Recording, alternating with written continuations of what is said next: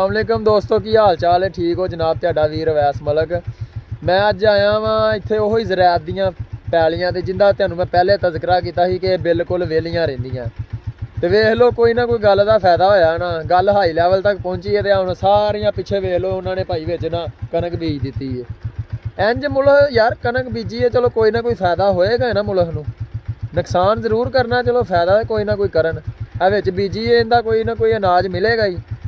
ਤੇ ਲਿਹਾਜ਼ਾ ਜਿੰਨੀ ਵੀ ਸਰਕਾਰੀ ਜ਼ਮੀਨ ਐਵੇਂ ਪਈ ਹੈ ਬਕਾਰ, ਤੁਹਾਡੀ ਮਿਹਰਬਾਨੀ, ਉਹਦੇ ਤੇ ਕੋਈ ਨਾ ਕੋਈ ਚੀਜ਼ ਬੀਜੋ ਤਾਂ ਕਿ ਮੁਲਕ ਦਾ ਫਾਇਦਾ ਹੋਵੇ।